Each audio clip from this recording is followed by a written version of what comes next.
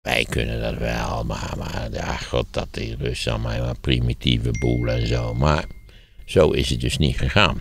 Ben ik dat gepingeld of ben jij dat gepingeld? Nee, jij bent het. Oh, godverdomme. Uh, dus sms'jes zijn dit. Oh, ik ga hem even uitzetten, want dat gepingel dat dit... Uh... Ja, of misschien moet je even lezen, want uh, die krijgt wel heel veel. Misschien is het iets dringends. Vast niet. Ik geloof het niet. Ik ga het even uitzetten. Het verlossen, kunt u mij horen?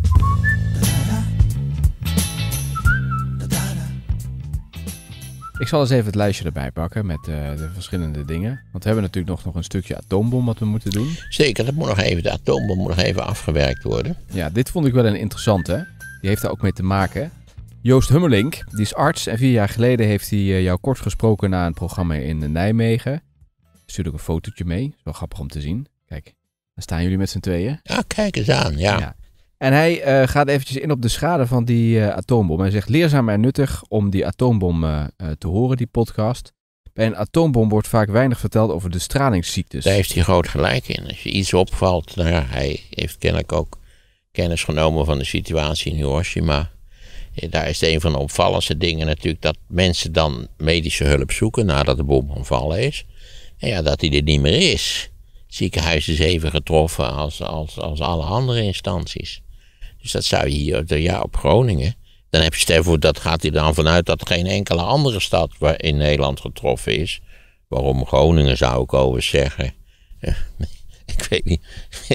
Is dat zij ook iemand. Uh, zou Helmond getroffen kunnen worden? Ik zei, nou, de kans dat Helmond een strategisch doel is voor een serieus nucleair wapen lijkt me niet zo groot. Maar... Veldhoven wel. Ja, precies. Dat zei ja. toen ook een ander ja. iemand in de zaal. Maar ja, Veldhoven wel. En ja, gooi je een 2 megaton wapen op Veldhoven, dat is voor de hele regio een rampzalige zaak. Maar wat deze man signaleert, is volkomen juist. Het, het, medische apparaat, het zorgend apparaat, wordt, zou onmiddellijk totaal overweldigd worden door het aantal slachtoffers. Je hebt ook in, in Hiroshima nog een groot aantal mensen, het gaat echt om tienduizenden mensen, die dachten dat ze het overleefd hadden.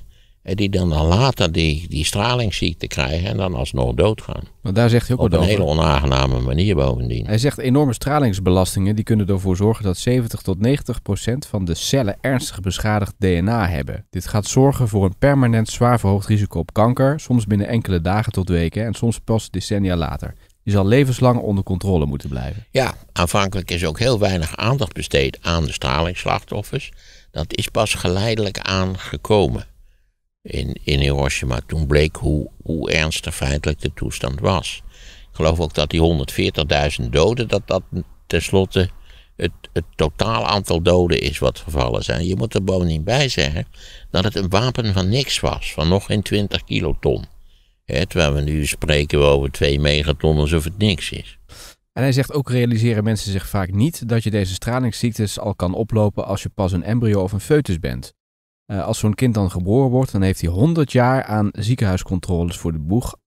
Dus zo iemand uh, kan dan misschien wel 20 tot 30 keer een verschillende kankersoorten als diagnose hebben, waar hij dan voor geopereerd moet worden of een andere behandeling moet krijgen. Sowieso, het hele idee van een kernoorlog is van een zo. Om, ik heb niet voor niks gezegd.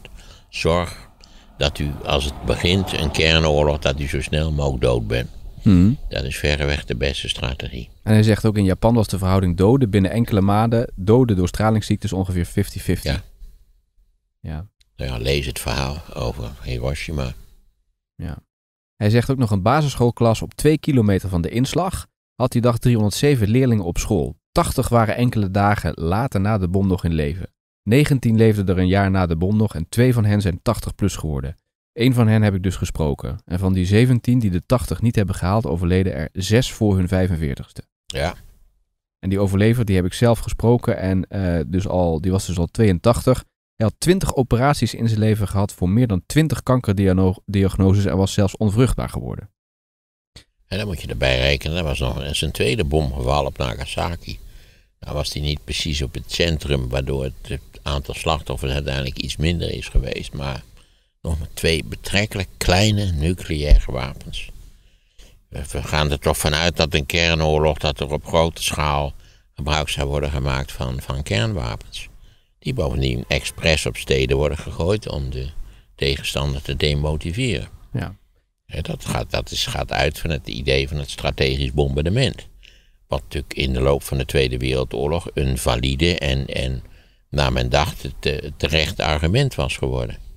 Joost Hummelink is dat dus. En dat, daar ga je nog wat meer over vertellen vandaag, toch? Over de impact van zo'n uh, atoombom. Nou, die impact, dat is hier al heel goed beschreven. De impact is zo. Wat, wat mensen vergeten is dat. Het, de impact is verschrikkelijk.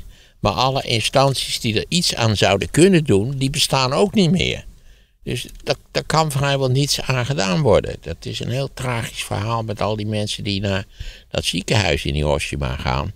Maar die zijn tenslotte in de, de binnenplaats van het ziekenhuis gaan zitten en dan zijn ze allemaal dood gegaan.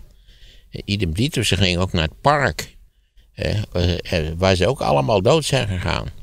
Binnen korte tijd. Je, je, de huid hing aan, aan, aan een soort flarden, van, alsof het oud behang was, eh, hing dat eh, om de mensen heen. Ja, allemaal, allemaal mensen die pas doodgingen nadat ze verschrikkelijke ellende hadden doorgemaakt, maar wel doodgingen. Want dat is natuurlijk, eh, kijk, als je naar een klassieke bom gooit, dat is ook heel erg vervelend. Maar dan heb je niet die lange termijn effecten die je onvermijdelijk hebt met nucleaire wapens of met, met nucleaire rampen. Denk aan Tsjernobyl. Hoewel daar de effecten, naar ik begreep, uiteindelijk op lange termijn nog wel mee zijn gevallen. Dus ja, het is, het, je hebt dat boekje van Hershey over, dat is een Amerikaanse journalist over Hiroshima. Het is een vrij dun boekje, dus dat kan iedereen lezen. Eh, en daar wordt dat allemaal heel nauwkeurig in beschreven. Lees het. Maar ja, het is ook niet, je wordt er niet opgewekt van. Vrijwel iedereen die erover na had gedacht, in die jaren, bijvoorbeeld Robert Oppenheimer, maar ook veel andere wetenschappers, zei onmiddellijk: het is in essentie een onbruikbaar wapen. Het is een, je moet het hebben om, laten we zeggen, uit overwegingen van deterrence, van afschrikking. Vandaar natuurlijk dat allerlei landen die zich werkelijk bedreigd voelden of vonden dat ze een belangrijke rol in de wereldpolitiek zouden moeten spelen, die wouden per se zo'n wapen hebben. Maar om te gebruiken, nou, niet voor niks is het niet meer gebruikt. We hebben natuurlijk een hele reeks van atoomproeven gehad tot tenslotte een verdrag is gesloten, geen atoomproeven meer in de atmosfeer. Nadat geloof de Russen een 50 megaton wapen op Nova Zembla hadden laten ontploffen.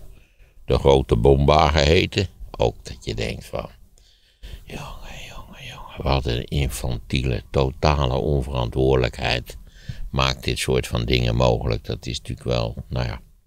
Uh, dus ja, ik, uh, ik, ik ga er zelf eerlijk gezegd vanuit, hoe gek het ook klinkt, uh, dat ze naar alle waarschijnlijkheid niet meer gebruikt zullen worden.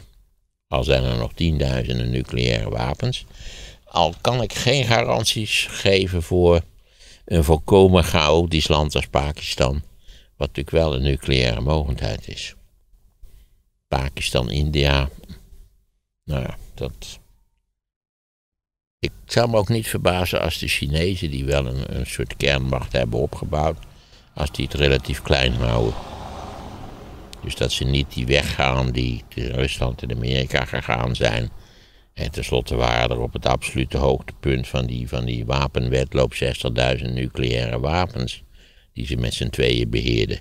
Ja, stuk, die zijn enorm sterk gereduceerd tot enkele duizenden aan beide kanten. Maar de wapenwetloop in de Koude Oorlog is, is een van de meest absurde verschijnselen ooit. Kennelijk waren ze. Ja, men ging uit van de mogelijkheid dat bij de start van een conflict. Ze hadden de Amerikanen een strategisch plan waarbij alle steden groter dan 25.000 inwoners zouden door een nucleair wapen getroffen worden. Nog afgezien van het feit dat de Amerikanen. Nou ja, misschien moeten we aan het begin beginnen. Nu, nu zitten we ergens een beetje halverwege dat de Amerikanen natuurlijk, de Amerikanen hebben altijd drie strijdmachtonderdelen, namelijk de marine, de luchtmacht en het leger. En, en die hebben altijd met elkaar geconcurreerd alsof het vijandige mogendheden waren. Elkaar dwars zitten, zorgen dat het budget van de ander minder, nou ja, enzovoort. Met als gevolg dat ze alle drie een kernmacht wilden hebben. Mm. de, de, de, marine had een kernmacht in de vorm van die onderzeeboten. En de luchtmacht had een kernmacht in de vorm van bommenwerpers. En eh, het landmacht had een kernmacht in de vorm van ballistische projectielen. Alle drie, ze hebben drie onderva, de zogenaamde trialen. van die triade die is totaal overbodig. Die, die raketten aan boord van die onderzeeërs zijn onvindbaar. Want je weet nooit precies waar die dingen zijn. Uh, dat is al ruim voldoende. Dat is ook wel eens uitgerekend. Ik weet niet door een Engelse minister van Defensie. Die zei nou, met, met enkele tientallen serieuze kernwapens er wel uit. Omdat die die functie van afschrikking moeten vervullen. Maar 10.000 wou, nou, laat ik even aan het begin beginnen. Dus de, Engel, de Amerikanen hadden die twee bommen gebruikt. Dat had diepe indruk gemaakt, eigenlijk op iedereen die ook maar in de verste verte iets wist van de effecten van die twee bommen. Dus al heel snel werd gezegd, ja, we moeten de wereld behoeden voor een nucleair conflict.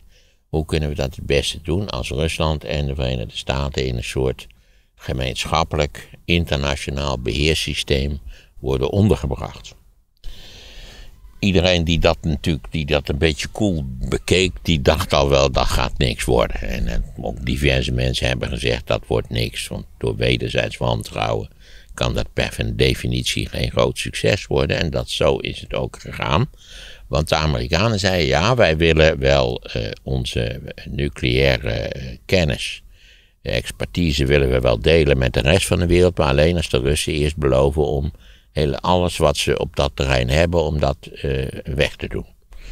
En de Russen zeiden natuurlijk precies het omgekeerde. Ja, wij willen best meedoen aan een internationaal controleregime, maar eigenlijk alleen als de Amerikanen eerst uh, al hun nucleaire wapens die ze hebben, ze hadden er overigens op dat moment niet zo erg veel, als ze die eerst wegdoen. Kortom, beide zeiden ze dus, wij doen alleen mee wanneer de andere partij zich ontwapent voordat het proces begint. Nou ja, daarmee was natuurlijk een padstelling gerealiseerd. Er is nog wel een plan gekomen, maar dat plan dat is, dat is nooit uitgevoerd. En bovendien bleek in september van het jaar 1949 dat de Russen een eigen kernwapen tot ontwikkeling hadden gebracht. Ze hadden werkelijk alles op alles gezet. En ze waren door Klaus Fuchs onder andere goed geïnformeerd over hoe je het zou moeten doen. En ik heb al eerder gezegd, als je eenmaal wist wat werkte, dan hoefde je niet allerlei mogelijkheden af te tasten, want dan wist je dat werkt. Ook sommige van die eh, Russische kernfysici, eh, eh, die zeiden, ja, je zou best een, wat betere bom kunnen maken, maar dat wou Stalin niet. Het moest precies zo worden gedaan als de Amerikanen hadden gedaan. Hij wil absolute zekerheid. of dat je ook weer van een verbazingwekkende kortzichtigheid. Maar goed, eh, zo gezegd, zo gedaan. Dus de Russen hebben in feite in vier jaar een eigen nucleair wapen ontwikkeld. Ten koste van alles en nog wat. Eh, stralingsvervuiling, ellende. Maar goed, ze hebben dat gedaan. En de Amerikanen waren verbijsterd. Die hadden zichzelf toch wijs gemaakt. Nou ja, die Russen die kunnen dat niet. Wij kunnen dat wel, maar, maar ja, god, dat die Russen allemaal maar primitieve boel en zo. Maar zo is het dus niet gegaan. Ben ik dat gepingeld of ben jij dat gepingeld? Nee, jij bent het. Oh, godverdomme. Uh, dus sms'jes zijn dit. Oh, ik ga hem even uitzetten, want dat gepingel dat dit... Uh... Ja, of misschien moet je even lezen, want die krijgt wel heel veel. Misschien is het iets dringends. Vast. Geloof niet. Het even uitzetten. niet de pedicure weer. Nee, nee. Hoewel, daar ook, moet je ook ruim op tijd afspraken maken. Dat, dat, op een of andere manier is het in Nederland altijd in de rij staan. Dat is een hele wonderlijke zaak eigenlijk. Ik had, nou ja, is een, voor een andere keer is dit een interessant onderwerp. Waarom we in godsnaam overal en altijd in de rij moeten staan. Virtueel of reëel, dat doet er niet zoveel toe, maar we staan in de rij overal. Uh, hè, probeer maar een afspraak te maken met, uh, met de loodgieter, zou ik maar zeggen. Uh, probeer sowieso in Nederland maar een afspraak te maken. Dat is al problematisch. En behalve als het, een instantie is die om wat voor reden ook denkt dat ze op vrij korte termijn een hoop aan je kunnen verdienen. Dan, dan wil het nog wel een keertje lukken.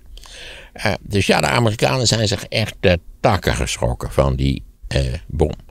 Uh, want ze vingen dus ja, nucleaire hoe heet het, straling werd opgevangen. En ze, nou ja, maar één reden zijn, namelijk de Russen hadden een bom tot ontploffing gebracht. En de Amerikanen waren ervan overtuigd, ja, wij moeten een, een, een niet in te halen voorsprong hebben op de Russen op het punt van nucleaire wapens. Dus die hebben toen vrij snel, ik geloof dat Truman, dat was de toen zittende president, al op zeer korte termijn, ergens in 1950 al besloten heeft, dan gaan wij een nog veel eh, zwaardere bom bouwen dan, dan we al hebben. Ondertussen zullen ze, denk rond 1950, nou, misschien ergens tussen de 200 of de 300 nucleaire wapens al in voorraad hebben gehad. Op zichzelf eigenlijk ruim voldoende. Um, en ze besluiten een waterstofbom te bouwen. Dat is een iets ander principe. Daarbij wordt eigenlijk een, een klassieke atoombom, hè, een uraniumbom of een plutoniumbom, wordt tot, ontwik, tot ontploffing gebracht. Maar dat is eigenlijk het klappertje wat een fusiebom ontsteekt. Hè, dus de druk en de, en de hitte door, de, door het ontstekingsmechanisme wat er gebruikt wordt, is in staat om, dat, om een waterstofbom te bouwen die min of meer onbeperkte mogelijkheden biedt. En ook, begreep ik later, eh, relatief ook betrekkelijk klein kan worden gemaakt. En dat hebben ze gedaan. En nou ja, dat is die bekende foto, die kent iedereen op die Bikini Atoll. Ergens in de Pacific met die, met die paddenstoelwolk die tientallen kilometers groot was. Eh, dat eerste ding, wat dat heet ook een, was eigenlijk niet een echte bom, maar een device. Om te kijken of het, of het zou werken. Nou ja, het werkte spectaculair. En vervolgens zijn de Amerikanen in de loop van de jaren 50 niet waar aan de slag gegaan om zoveel mogelijk nucleaire wapens te bouwen. Waarvan natuurlijk iedereen zei die enig verstand in zijn hoofd had. Waar is daar gewoon godsnaam goed voor? Waarom zei, er was toen ook al besloten om niet alleen de strategische kernwapens te gebruiken, maar ook tactische kernwapens die op het slagveld gebruikt zouden worden. Zelfs hele kleine kernwapens die over een afstand van enkele honderden meters ingezet zouden kunnen worden. Je moet er toch werkelijk niet aan denken. Maar goed, de waarschuwingen van, van de wetenschappers werden in de wind geslagen. Eh, het raakte natuurlijk, het werd een, een, een, politiek proces. En dan weet je, als de politiek zich mee bemoeit, dat domheid in alle denkbare dimensies eh, tot de mogelijkheden hoort. En het Amerikaanse politieke systeem is, is bemand met, met eh, in allerlei opzichten mensen van een unieke domheid. En nou ja, dus dat, dat is eigenlijk totaal uit de hand gelopen. En tenslotte niet waar kwam Amerika ook te zitten in de loop van de Koude Oorlog met, met 30.000 nucleaire wapens. Eh, we zullen zo zien dat er ook pogingen zijn gedaan om dat te beperken. Maar dat is dan zelfs de poging om het te beperken leiden tot allerlei paniek ter rechterzijde. Van de Russen hebben er meer, eh, hoe moet dat zo, we moeten, nou ja, enzovoort, enzovoort. Eh, een absurde verspilling van geld een absurd idee dat we bereid waren om miljarden mensen op te blazen. Niet waar in het geval van een serieus conflict eh, zijn natuurlijk ook diverse bijna ongelukken gebeurd. Hè. Er zijn wel eens per bommen eh, losgelaten die op, goed, allemaal niet afgegaan. Er zijn wel eens natuurlijk de bekende, eh, hoe heet het, vluchten van, van vogels die werden aangezien voor, voor Russische raketten. Nou ja, nogmaals, op sommige punten. Het is dus niet zo dat men ooit aan de toppers gedacht heeft, nu moeten we uh, iets gaan doen. Nee, het waren meestal dus uh, ja, technische gebreken, verkeerde signalen, die, die vervelende situaties veroorzaakten. Dus ja, zowel de Russen als de Amerikanen gingen natuurlijk nu flink aan de slag met het bouwen van wapens. Rusland had natuurlijk een forse achterstand op dit gebied. En eigenlijk pas, nou ja, zo rond het eind van de jaren 60, begin van de jaren 70, waren de Russen ongeveer op hetzelfde niveau gekomen. En toen kwam in Amerika Nixon aan de macht met zijn bekende adjudant eh, Kissinger. Wat je verder van Kissinger mogen denken, van alles en nog wat. Maar Kissinger was een intelligente man. Die ook begreep dat het hele idee van dat je, dat je superieur moest zijn met behulp van nucleaire wapens een volkomen idioot idee was. En dat pariteit onvermijdelijk was en dat je beter over die pariteit in gesprek kon gaan met de tegenstander in casu de Russen. Dus zijn ze begonnen met onderhandelingen over Strategic Arms Limitation Talks, geheten SALT. En dat is, dat is tot op die eerste overeenkomst die is door Nixon geloof ik in, in, Moskou getekend. Dat was eigenlijk nogal een beetje sloddervosserij. Maar goed, de intenties waren juist en de overwegingen waren ook juist. Dat dat superioriteit, dat dat gewoon pure flauwekul was in het geval van nucleaire wapens. Dus daar is door Kissinger en Nixon uitgebreid over onderhandeld. Dat heeft ook tot SOLT 1 geleid, dat verdrag. Ten slotte is zelfs een SOLT 2 tot stand gekomen. Ondertussen was Carter president geworden. SOLT 2 is in Wenen getekend in 79, in de zomer van 79. Maar wat deden de Russen in, aan het eind van 79, de inval in Afghanistan? Carter is volledig over de rode geraakt en die zag dat als een, als een nou, schandelijk verraad. Heb ik met die boeven aan tafel gezeten. Dat dit, eh, hoe heet het, Sal Sol 2 is koud gesteld. Dat is nooit, nooit uh, geratificeerd uiteindelijk. Hoewel gek genoeg beide partijen zich wel aan de condities hebben gehouden, maar het is nooit geratificeerd. En Carter die zei van ja, die, die, die lui, die Russen, die, ze, die willen doorstoten naar de Perzische Golf. En terwijl, dat, dat valt je toch vaak op. Als mensen gewoon eens op een kaart zouden kijken. Hoe nuttig dat zou zijn. Hè? Ook toen, toen met dat Afghanistan, dat, dat, dat, gemakkelijk bezet kon worden. Kijk nou eens naar de kaart van Afghanistan. Dan valt je op, wat valt je dan op? Ja, dat het toch heel iets anders is dan de Beemster. Dat, dat, ook qua afmetingen, qua terrein. Eh, eh, nou. Want als je even naar de kaart zou kijken, dan zul je zien dat tussen Afghanistan en de Perzische Golf heb je Perzië, Iran. Dus de kans dat die, dat die Russen plotseling door Iran naar de Perzische Golf zouden stoten, nou, een, een. Het gekke is dat niet Reagan begonnen is met, laten we zeggen, meer defensie-uitgaven eh, te doen. Een soort van uh, neo-koude oorlogssfeer te creëren. Dat was Carter merkwaardig genoeg. En daar, goed, dat is door Reagan is dat, is dat in principe doorgetrokken. Uh, ja, ondertussen was er ook intern, zeker ter rechterzijde, veel kritiek gerezen eh, op, die, op die onderhandelingen over nucleaire wapens. Want beweerde men ter rechterzijde Committee on the Present Danger heette dat, die organisatie die daartoe gesticht was. Uh, ja, als je het goed bekeek, dan waren die Russen toch bezig om, om superieur te worden op het punt van nucleaire wapens. Dat sloeg verder nergens op, maar goed, dat was de theorie. Als je er maar lang genoeg en theoretisch genoeg over nadacht, maar de Russen hebben daar overigens nooit naar gestreefd. Overigens, ondertussen was de technologie ook sterk veranderd en verbeterd met als gevolg dat je eh, op één ballistische raket kon je meerdere kernkoppen zetten. En bovendien kon je die meerdere kernkoppen zo programmeren dat ze naar verschillende doelen gingen. Dus dat betekende dat elke ballistisch, elk ballistisch projectiel was in feite veranderd in zes potentiële ballistische projectielen die althans zes doelen zouden kunnen raken. Dat heet Murving multiple independently targeted en nog zo wat dingen. Laat mensen het maar even opzoeken. Uh, dat werd buiten de onderhandelingen gehouden, zodat eigenlijk effectief het aantal nucleaire wapens wat gebruikt zou kunnen worden in strategische zin eerder fors was toegenomen dan was afgenomen. Nou, nu zijn we ondertussen, het is een betrekkelijk oppervlakkig verhaal, maar we zijn ondertussen gearriveerd in het begin van de jaren 80.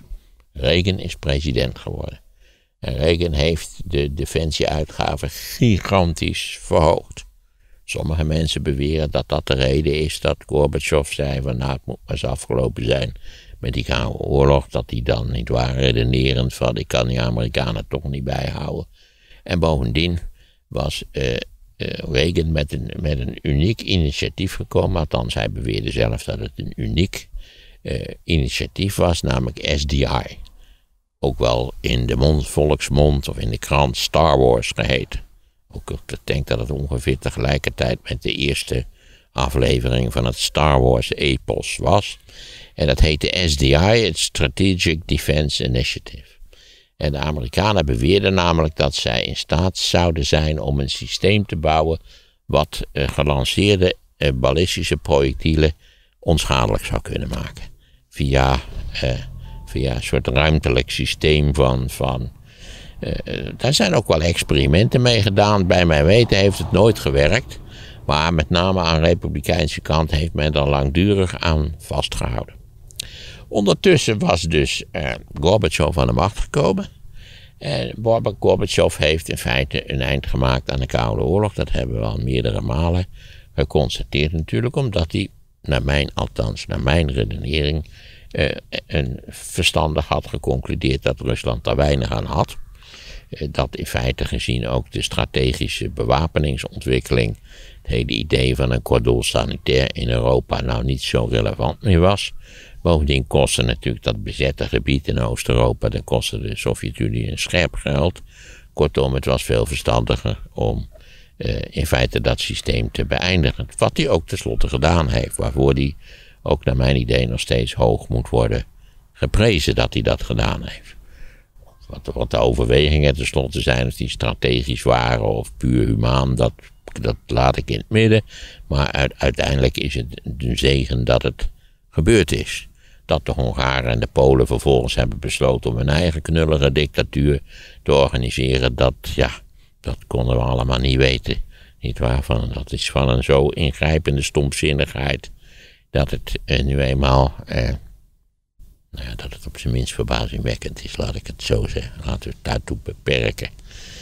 Goeiedag moet het toch met die, met die vreselijke Orban een keer afgelopen zijn, maar ja, voorlopig. Je ziet, als ze de kans krijgen, die populisten, dan manipuleren ze het kiessysteem zo dat ze eeuwig aan de macht kunnen blijven. Ik ben heel benieuwd wat er nu in Turkije gaat gebeuren met die verkiezingen. Eh, met, met Erdogan, of die, of die tenslotte zal besluiten dat het gewoon maar een dictatuur gaat worden onder zijn leiding. Zijn gezegende, ongelooflijke, perfecte, briljante leidingen. Terwijl die economisch natuurlijk het land in allerlei opzichten in de soep gereden heeft. Maar goed, we zullen dat moeten afwachten.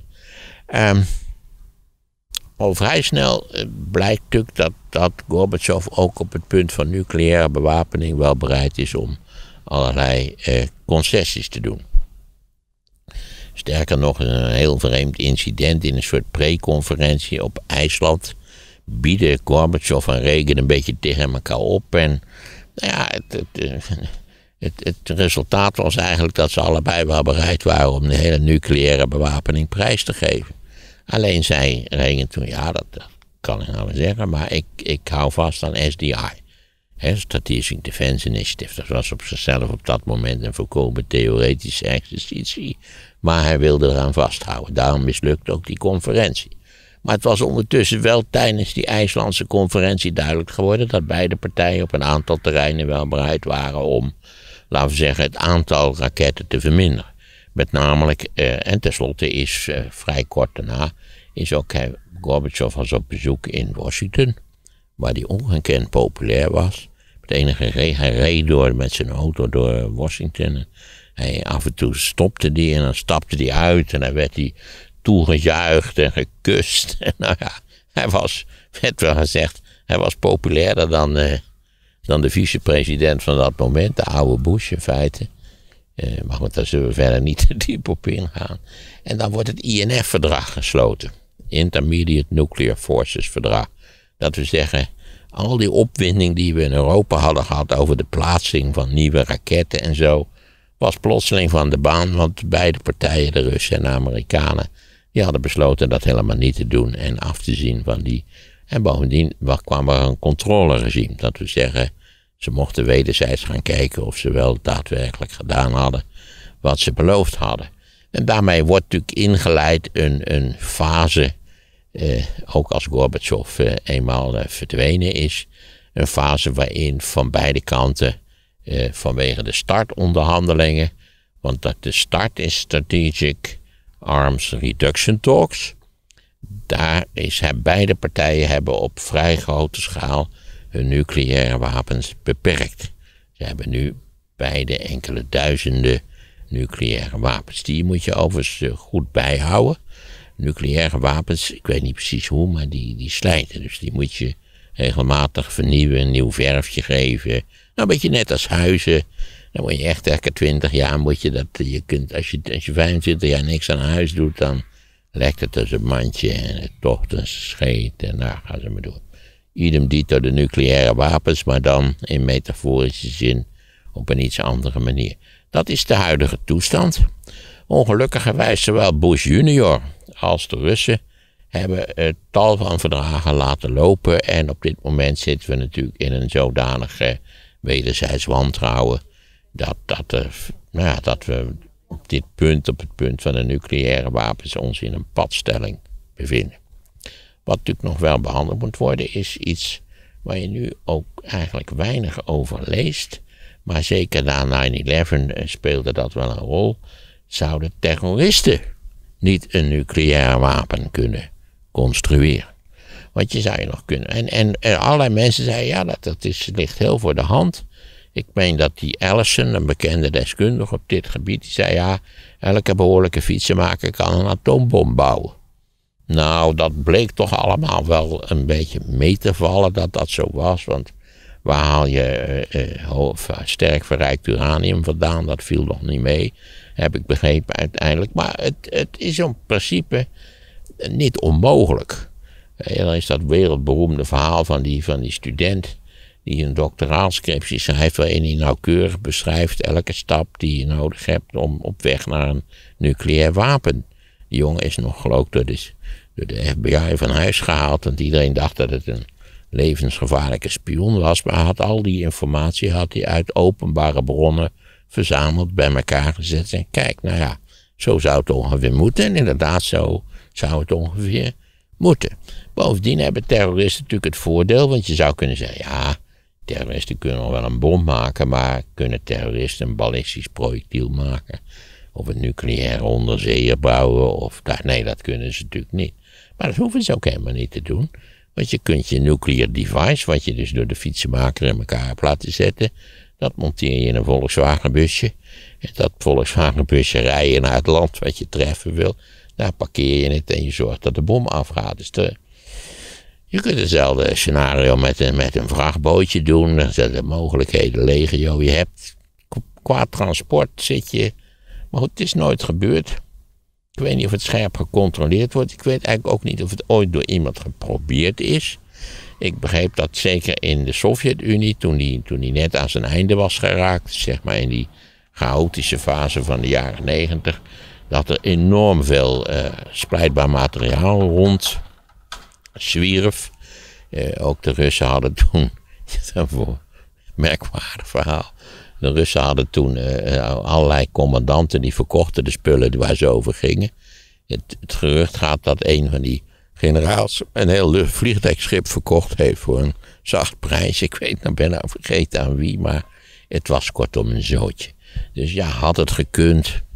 Ik, ik las ook nog eens een beschouwing over hoeveel spreidbaar materiaal kortom geschikt om een bom van te maken, er rondzwerft in de wereld. Nou, dat is uh, zeer aanzienlijk. Maar tot op heden, niet waar, uh, wat proberen terroristen met een explosieve onderbroek, een explosieve schoen, ik weet niet wat voor rarigheid we niet gezien hebben in de loop der tijden. Maar dit is bij mijn weten tot op heden niet geprobeerd. Maar je moet er denk toch dus die, die, elke geschoolde fietsenmaker kan het, daar heb ik zo mijn twijfels bij. Maar we zitten nog steeds met die nucleaire wapens. Allerlei verstandige lieden hebben ook gezegd: laten we dat nou eens nog verder reduceren. Laten we eens kijken of we er helemaal vanaf zullen komen. Ik denk niet dat dat ooit gaat gebeuren. De geest is uit de fles. En die krijgen we nooit meer terug in de fles. Natuurlijk, tal van landen zullen zeggen: ja, je kunt maar wat met een controleregime, dat gaan wij niet doen. Neem Israël bijvoorbeeld. Dat zal altijd van de wens hebben om, om als een soort van rukversicherung een dergelijk soort van uh, wapen erop na te houden. En ik denk ook dat andere kernmogelijkheden, denk aan Pakistan en India, klassieke tegenstanders, Noord-Korea, een doodbang noodstaatje, wat, wat natuurlijk ook alleen die nucleaire wapens ziet als een soort van laatste garantie dat ze daar de waanzin voorlopig op de weg kunnen houden. Nou, wat hebben we nog meer aan? aan en natuurlijk de Engelsen en de Fransen. Ja, ik zou zeggen. Je moet ook een keer afscheid nemen van het idee dat ze grote mogendheden zijn. Dat zijn ze al lang niet meer. Er zijn een massa Chinese provincies waar meer mensen wonen die productiever zijn dan Frankrijk en Engeland. Maar ja, ze houden vast aan. aan het, zou, het is echt net alsof wij niet waar de glorie van de Nederlandse Republiek. Dat we zeggen, nee, we gaan reusachtige vloot bouwen. En, nee, het is, een, het is een beetje zonde, maar ik denk eh, nogmaals, geen van de nucleaire mogendheden zal willen afzien. Omdat het ook eigenlijk je, eh, hoe moet je dat zeggen? Het, het is een soort van eh, medaille die je hebt van dat, waaruit blijkt dat je een mogendheid van gewicht bent. Al ben je klein zoals Israël, je bent toch een mogendheid van gewicht. Overigens hebben een aantal landen die wel degelijk pogingen hadden gedaan in die richting om een eigen bom te bouwen, daarvan afgezien. Ik geloof Zuid-Afrika, ik ben nou vergeten of ze ooit tot een bom gekomen zijn, maar ze hebben tenslotte besloten om dat niet door te zetten. Argentinië, idem dito, nog, zijn nog wel een landen van, ja, die in Nederland, hoe heet het, uh, Hofland, Henk Hofland heeft onder pseudoniem uh, van uh, Hippel, heeft hij een boekje geschreven, Nederland een eigen kernbom. Puur technisch zijn wij heel goed in staat om een kernbom te bouwen. Ten omdat wij natuurlijk die centrifugetechniek hebben, die overigens de Pakistani gebruikt hebben, die Kaan die daar werkte. We wisten dat hij die boel stal. We hebben volgens mij aan de Amerikanen gevraagd: wat vinden jullie ervan? Nee, laat dit maar stelen, dan weten we waar het heen gaat en dan kunnen we controleren wat ermee gebeurt daar. Achteraf misschien niet zo verstandig geweest, want die, die Kaan, K-H-A-N heette die man, kernfysicus, die heeft een soort, is een soort uitzendbedrijf voor onderdelen van, van atoombommen begonnen. Dus het was uiteindelijk niet zo'n verstandig idee. Maar, ehm, ja, dit is het ongelukkige eindpunt. Er zijn nog steeds duizenden nucleaire wapens. Daar komen we niet meer vanaf, is mijn theorie. We kunnen alleen maar hopen dat, dat ze niet in handen van een gek vallen en niet gebruikt zullen worden. En nogmaals, sinds 9 augustus 1945 zijn ze niet meer gebruikt, althans niet in militaire zin. Over de schadelijkheid ervan, wil je daar nog iets over zeggen? Of vind je dat we daar alles over gezegd hebben? Ja, daar hebben we alles wel over gezegd. Als je gaat, als je denkt wat een betrekkelijk klein nucleair wapen kan doen, nogmaals, eh, dat het, het Hiroshima-wapen was nog geen 20 kiloton. Dan, dan, dan kun je realiseren dat 2 megaton, laat staan uh, nog grotere wapens, dat, dat, daarvan is de uitwerking gruwelijk. Oké, ik ga even kijken of we hier nog wat, want dan kunnen we dat mooi meenemen, we nog wat reacties over zijn. Want ik zag daar best wel veel dingen over binnenkomen. Veel mensen die ook nog uh, films uh, en boeken hebben geadviseerd ja, rondom dit thema. Ja, dat klopt. Er zijn films gemaakt die schijnt dat Reken daar ook enorm van onder de indruk was. Er is zo'n film gemaakt wat de effecten zouden zijn de eerste dag van zo'n nucleaire oorlog. Uh, en dat dat ook hem wel beïnvloed heeft. Reagan was een fervent tegenstander van nucleaire wapens. En heeft op zijn eigenaardige manier wel bijgedragen aan de vermindering van de dreiging op dat punt. Maarten, na aanleiding van de atoombom kan ik de film aanraden Oppenheimer.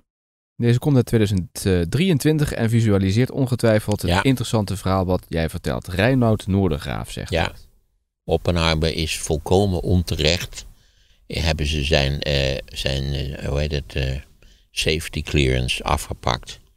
Omdat hij beschouwd werd als een potentiële spion. Omdat hij in zijn jeugd, jeugdjaren linkse ideeën zou hebben gehad. Nou ja, dan was je natuurlijk in de jaren 50 in Amerika al sowieso verdacht. Ja eigenlijk een tragische figuur.